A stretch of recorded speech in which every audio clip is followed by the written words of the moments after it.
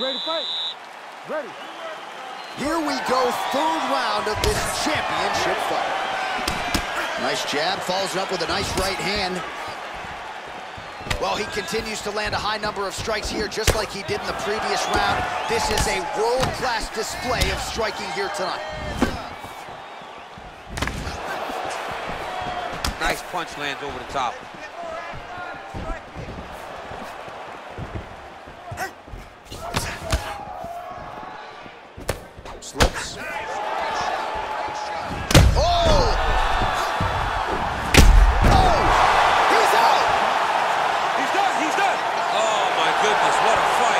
near perfect strike to end the fight and end the night for his opponent, who candidly may not have even seen that shot coming. So just the way he drew it up, exactly what he told us during fight week, played out here on fight night. He found a little opening in his opponent's defense and forged right through it to get the big knockout win. All right, let's re-rack the highlight now, DC, and he's certainly going to enjoy watching this one back. The head kick was there early, it was there often, and ultimately ended the night for his opponent. He found a weakness in his opponent's game.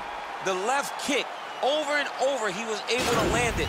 And he was landing the strikes, too, with his hands, but ultimately it was the kick that was hidden behind the punch that finished the fight for him.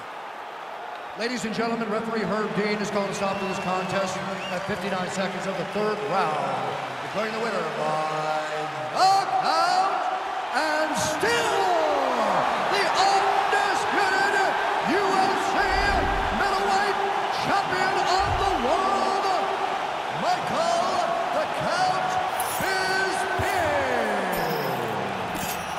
still the king of the 185-pounders. There he is, the undisputed UFC middle.